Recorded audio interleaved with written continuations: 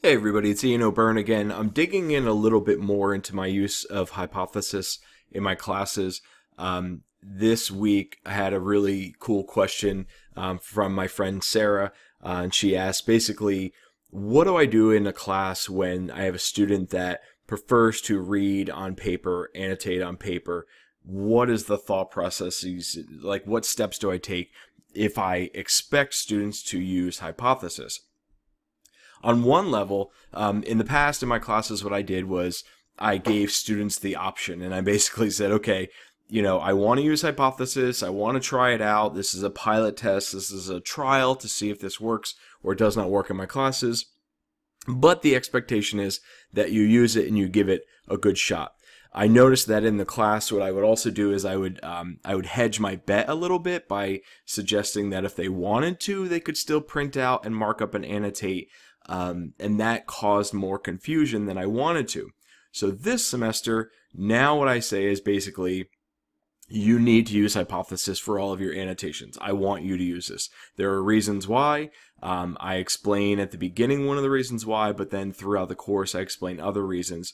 And most of the reasons relate to, you know, my in my research uh, and and teaching and learning with literacy and technology, but then also it relates to the content of some of the classes. So most of my classes are about language and literacy or technology, and I want the students to think about the way that texts are changing. So, you know, I try to problematize their thinking about writing, and that it doesn't have to be just print on paper or handwriting on paper. Um, you know, that there are many ways to quote unquote write or create. Um, and so I'm always problematizing their thinking about text and problematizing their thinking about literacy um, and language.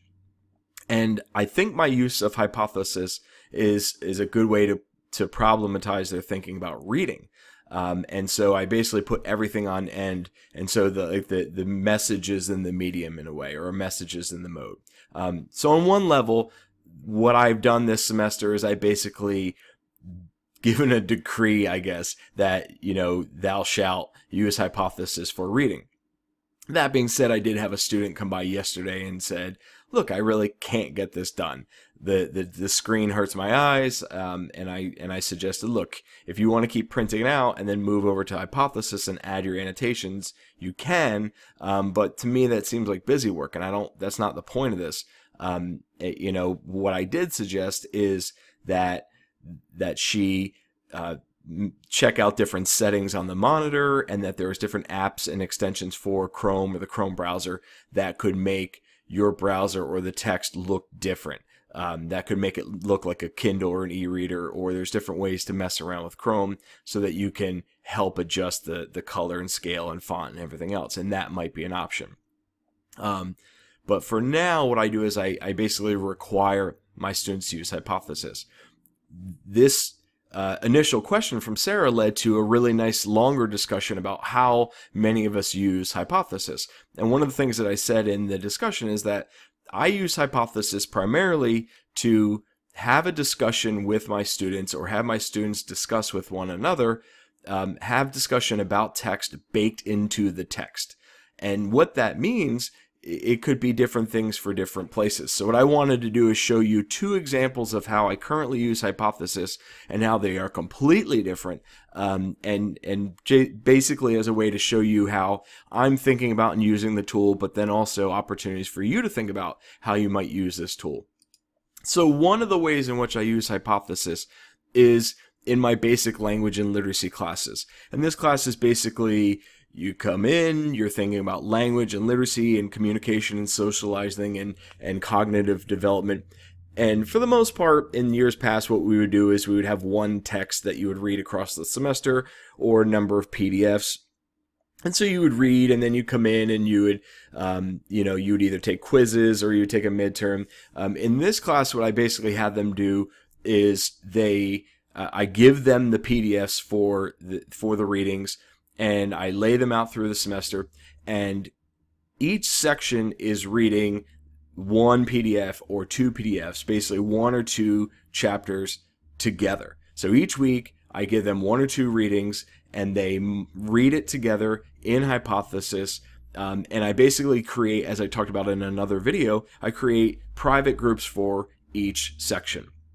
So it, what ends up happening is, you know, the 20, 25 students in one section of this class will be in one document reading and annotating. Everybody's in one chapter, um, and then the other section is in one chapter together.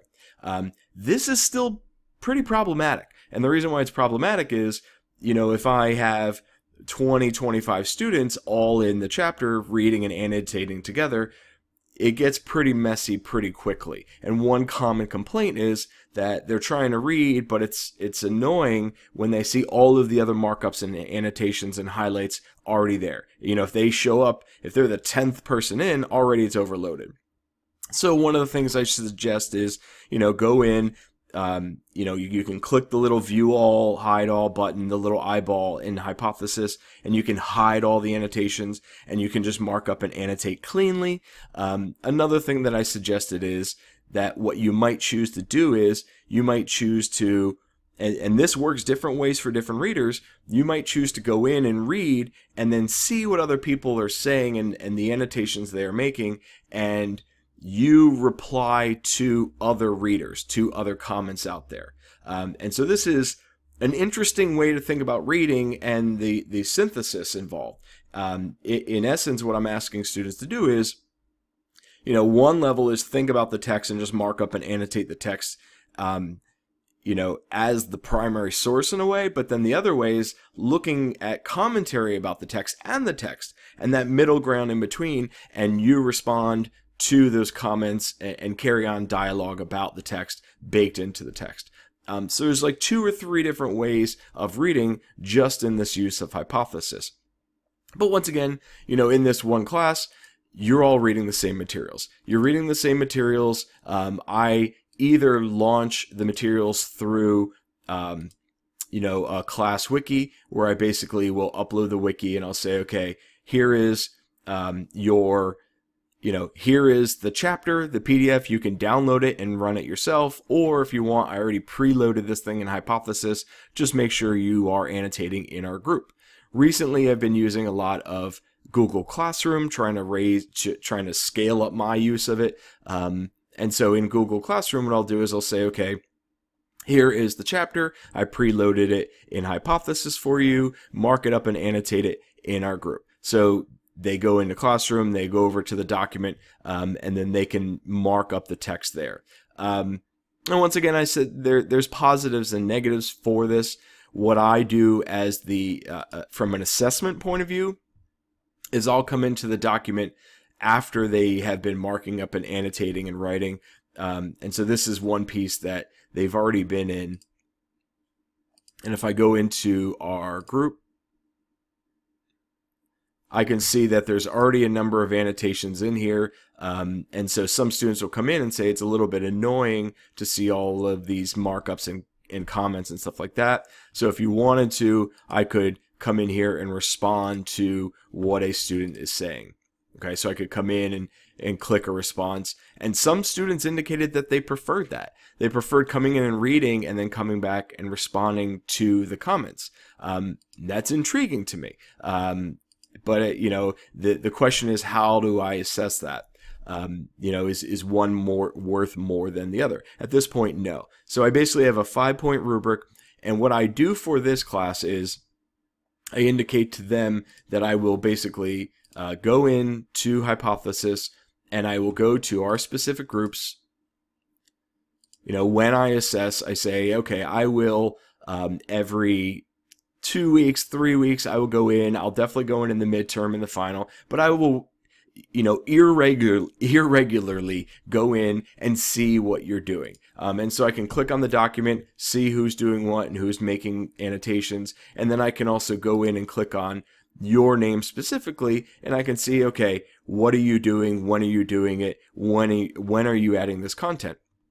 And what I can do is very quickly go in and assess their comments and assess their work and give uh, a very lightweight grade per week for um, their reading and participation.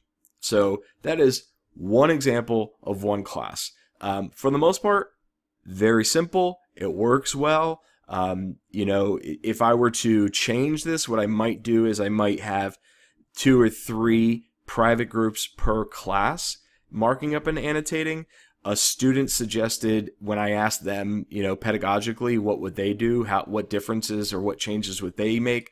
One student suggested that perhaps individual groups could use a hashtag. So I could have like EDEE3251, EDEE3252. And so smaller groups could use a hashtag, and that would be a way for me and them to keep things separate. I think that's kind of smart. Um, but for the most part, the use of hypothesis in this one group is pretty simple. You are reading these texts in class, you are reading and responding and annotating and marking up. I'm checking in to make sure that you're paying attention and you're having you're engaging in dialogue or discussion about the text baked into the text as evidence or as assessed by my rubric, which I've shown before, but I'll scroll through here. Um, so I'm looking through to see if you're having discussions. For the most part, it works. I do have I do have um, some pushback from students that suggest that they would much rather print it out and mark it up and annotate it. I'm still trying to figure out how I feel about that. Um, but for the most part, things work. Um, and it's just seeing how they follow through and how they make those connections. And then I go through every, you know, uh, irregularly with the rubric to see what are they doing? Are they paying attention? Are they prepared for class? But then also I uh, I, I find evidence of the readings in other assessments in the class. So this is not the only time I check in on the readings. It's very important. Um, the materials and the ideas um, are pulled in through different threads and different assessments across the class. That's something very important to note. Um, but for the most part, it works. I might change the groupings a little bit, um, but you know, it, it's pretty standard. For a different class, um, this is an example of my project-based learning class. I use hypothesis as well, but the, the structure is completely different. Um, and so in this class, what we do is in they still use hypothesis for the readings and, and marking up and annotating the readings over time. But they're not marking up and annotating and reading the same things. What they're doing is they're basically using hypothesis as a way to leave little digital breadcrumbs behind for my my use, my assessment, but also for for their use um, as they read, as they synthesize, as they write, as they construct. Um, and I'll show you what this looks like. So in this class, what I do is right now this class lives in our uh, learning management system. Uh, we call it OAKS. It's a desire to learn piece. But basically, what I have set up in here is uh, the the course is organized into four modules. Um, so I have four modules set up. Each module basically takes two weeks. So I have two or three weeks at the beginning of the year, two uh, at the beginning of the semester, two or three weeks at the end of the semester, and then in the middle of the semester I have uh, four modules. Each module takes two weeks. And so there is a cadence that I set up, like a tick-tock of knowing what you have to do and when you have to do it. So for each module, what I set up, and I'll do uh, videos later on this structure, I have set up a, you know, module one and the, the overview of module one, um, which is my learning outcomes and a video and stuff like that, uh, uh, you know, a digging deeper video.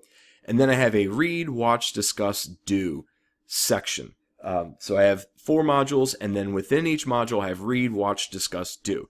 This is, it happens all the time. So if I go into um, the do section first, the do section, so for module one, their assessments are um, number one, do a little bit of work on your website, continue to build this up. You know, this will be the, the beginning of the course. Um, I also want them to think about a unit plan they're constructing for class and give me an update, answer the prompts in the discussion. Um, but then what I also want them to do is for module one, I want them to read, synthesize, search for other texts, and synthesize what they learned and reflect on what they learned in module one. So in this two week block of content, tell me what you learned.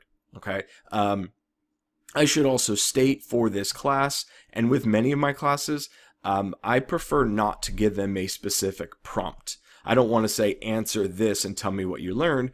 My suggestion is that, you know, I steer you in a direction by showing you different texts and different pieces of information. I want to see what you pick out of this. I want to see what you pick out of this from your your you know uh, epistemological uh, beliefs. I want you to think about uh, pedagogy, about your content area, about your grade level. But I want you to tell me what the question is or what the prompt is. I want you to reflect um, and not just sort of check off a box as to what I think you should glean from this content. So the one of the major assignments for each module is to reflect in a blog post. And so this is where it gets fun. So if I go into reading, what I say is, okay, I give you for module one in the reading section, I give you five links. I give you five websites, five PDFs, um, and I, and I suggest that this this series of five links is not exhaustive. And what I mean by that is read one, read all, read none. But if you look through this, you can see that I am focusing on module one, project-based learning, web literacies, and then understanding by design and backward design. So those are the directions that we're heading as we work our way through module one. So you can make several hypotheses about what I'm doing or where I'm heading in this first module. Um, and so what I suggest to students is click through, read them all, mark them up and annotate an hypothesis if you so choose. Um, or you might decide that you don't want to follow my links. You might say, I don't trust anything that this person has told me. What I want to do is open up a new tab and I'm going to search for, you know, project-based learning and I'm just going to go out my own. Or I'm going to go to uh, Google Scholar and I'm just going to go into Google Scholar on my own. I trust my own online search habits. I'm going to go into Google Scholar and search for project-based learning and I'm just going to make it, um, I'm going to figure it out on my own.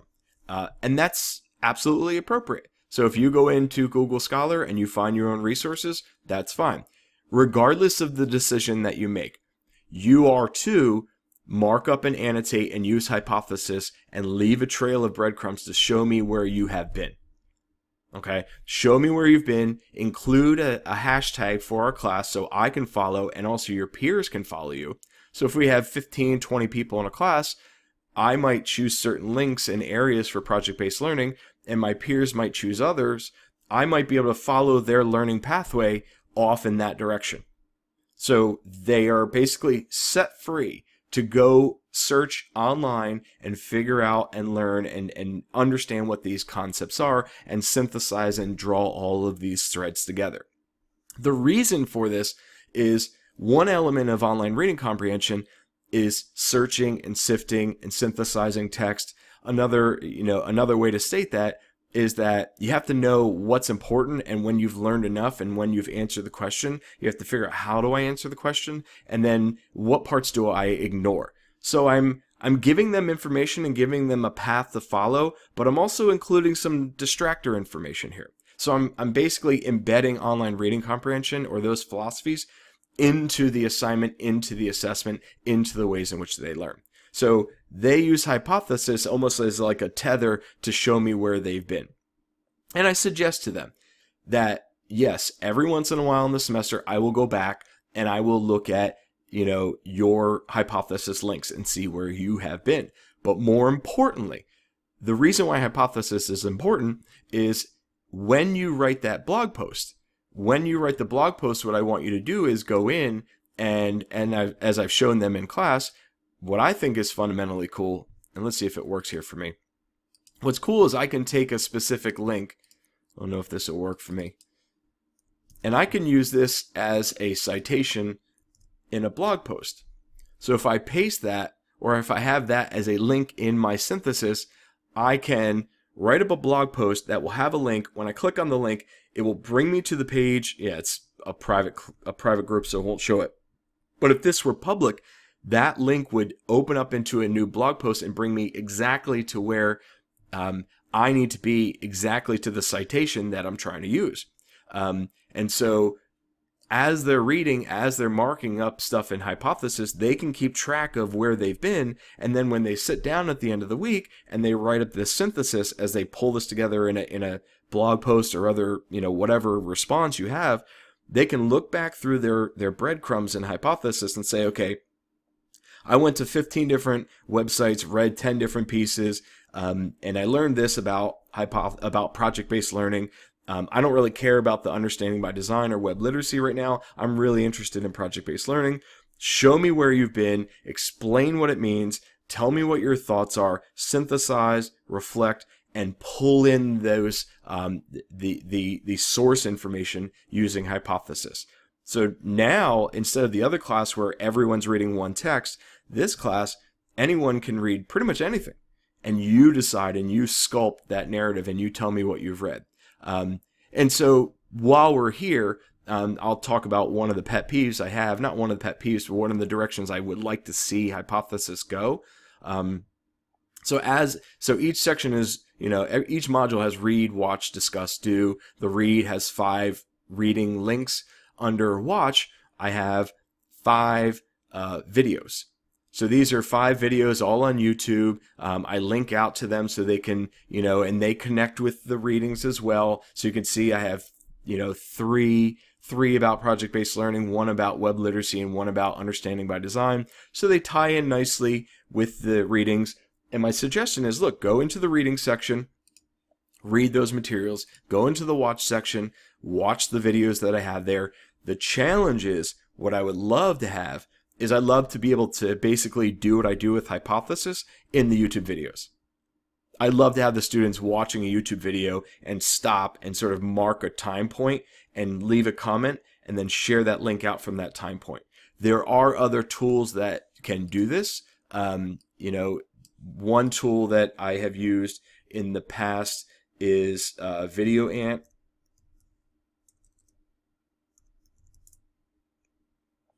So VideoAnt is an open source uh, tool that will basically allow me to mark up and annotate and leave questions. Um, but then another one is Vialogues.